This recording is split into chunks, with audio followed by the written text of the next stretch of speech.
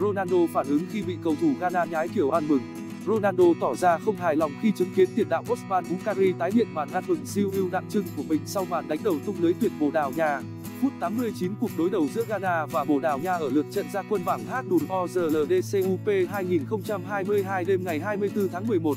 Bukari ghi bàn rút ngắn tỷ số xuống 2 đến 3 cho đội bóng châu Phi. Sau đường chuyền của Inaki Williams bên cánh phải, Bukari nhảy lên đánh đầu cận thành, hạ gục thủ môn đối phương. Tiền đạo này sau đó gây chú ý với màn bật nhảy ăn mừng giống hệt kiểu ăn mừng siêu ưu đặc trưng của Ronaldo.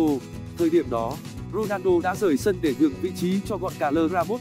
Từ băng ghế kỹ thuật của Bồ Đào Nha, CR7 phất tay, thể hiện sự không hài lòng khi đội nhà bị thủng lưới và chứng kiến đối phương nhái lại kiểu ăn mừng quen thuộc của mình. Trong thời gian còn lại, Ghana vùng lên mạnh mẽ nhưng không thể ghi thêm bàn thắng để kiếm được một trận hòa.